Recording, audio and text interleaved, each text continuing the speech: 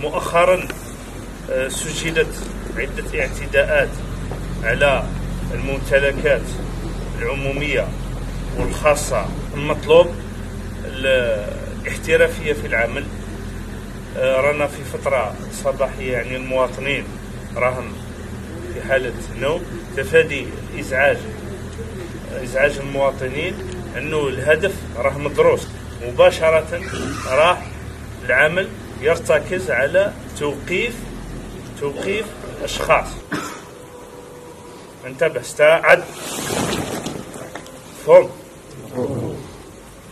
حول بنيتك.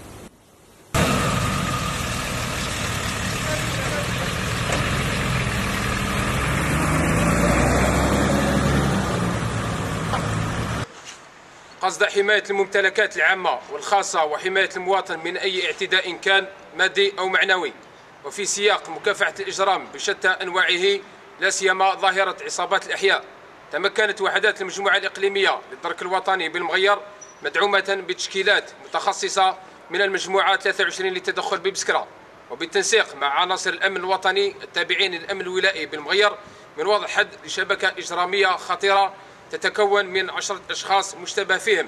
كانوا يعملون على زرع الرعب ولا أمن آه، في نفوس المواطنين بقرية صيغة وهذا بعد تلقي الشكاوي المقدمة من طرف المواطنين وجمعيات المجتمع المدني.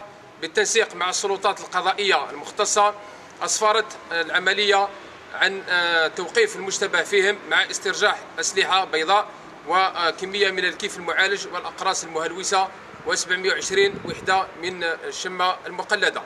العملية انطلقت على الساعة الخامسة صباحا إلى غاية الساعة السادسة صباحا.